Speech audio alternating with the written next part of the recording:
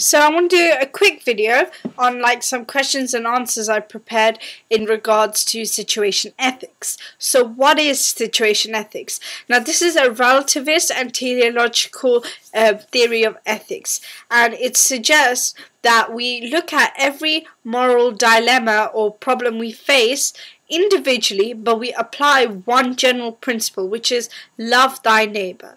And we should take any action which is the most loving thing to do. So, like in um, Bentham's utilitarianism, you do the action which produces the most pleasure. Here, you do the action which is the most loving thing to do. So, um, I already talked about what is situation ethics. Now, it's in the middle of Antinomianism and legalism. Now, legalism is where um, an ethical system is based on rule after rule after rule. And John Fletcher, um, not John, Joseph Fletcher, who's an advocate of um, situation ethics, he said that if we go for a, a, for ethical system which is on the legalism side, suddenly the rules become more important than the people, and that's not the point of having ethics, is it? And on the other end, you have Antony, um, antinomianism. And this is basically where there are no rules free society. And uh, Fletcher said this would basically cause like you know a moral chaos or you know just upside down. Everything would turn. People would be doing whatever. It would be absolutely a disaster. So he said this uh, situation ethics provides something in the middle. And he describes as the situationalists follows a moral law or breaks it according to love's need. So basically, um, if we have the moral law, do not lie, we will either follow it or break it according to which is the most loving thing to do.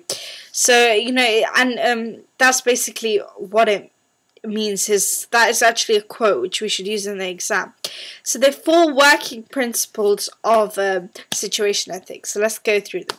Number one, pragmatic. Uh, pragmatics. This basically means that we need to take the context into account. Ethics needs to work in practice. It's not something of theory that we should do, you know, um, like for utilitarians, do something greatest number, greatest good, where that would restrict you from even buying ice cream because you know you should be giving your money to charity. It should be a practical, something that actually works in reality and in like every context.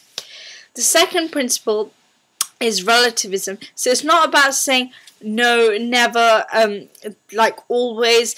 Uh, it's no fixed rules. The only fixed rule is um, love thy neighbor and most loving thing to do. Those are the principles, okay? That's the only principles. And as you may have noticed, love thy neighbor doesn't contain always or never or any of these kind of words in it.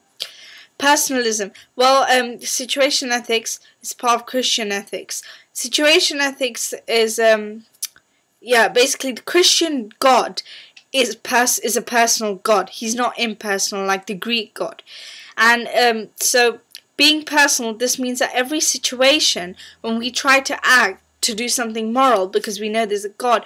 We shouldn't act in an impersonal way. We should uh, make our problems like personal and then apply general principles that we've got. I've actually love that. These all come from the Bible, so you know we should apply them like that. For the conscious, now the conscious is what we use to determine what is the most loving thing to do. And I've written here that some would say it's not an intuition, but it's actually a guidance by the Holy Spirit. Now, this could be because if some uh, extreme, not extreme, but some Christians may believe that our conscious is the Holy Spirit, it's a part of us which is part of God. So um, it's a, as I mentioned before, it's a teleological theory of ethics, which means it looks to an end, a purpose, as opposed to deontolo- uh, deontological theory of ethics like Kant's. So I want to mention about five criticisms here. So let's look at them. Sometimes you can miss the big picture with situation ethics. You might say immediately, I must do this action, it's the most loving thing to do, when not realizing in the long term the consequences it can cause. So, you know, you might miss out the big picture and not see the long term, you know, things. You just might focus on the short term. There is no structure to this type of ethical system. It's just one principle that you try and apply to every situation. So there is no collective ethical framework. And so sometimes people say, is this really an ethical system? Because it's just like somebody's made up this technique to deal with life. And they say emotions can cloud our judgment. This means that um, you know our judgment what is the most loving thing to do. Sometimes we're not able to see what is the most loving thing to do because our emotions might cover it. So it's not usually it might not be easy to determine what is the most loving thing to do Disputes can also occur because what is the most loving thing, what I see as the most loving thing to do, somebody else might not see it. If I see the most loving thing to do is to pull out the plug and uh, actually uh, maybe uh, pro euthanasia, somebody else might say that's not the loving thing. The loving thing to do is to try and get this person to recover, to come back to life. And there's also the aspect human nature versus agape, the selfless Christian love. Well, human nature means that we have these animal attributes, you know, greed, lust, whatever it is. And human nature, that is our human nature. And this agape, selfless love, is it even possible? Are, isn't everybody just looking out? Like, do we really give charity to money to help other people, or do we do it to show off, or to get that feeling of good, or to avoid the pain we get from not doing it? So, I hope this helps give a bit more advice on situation ethics. Please visit my blog.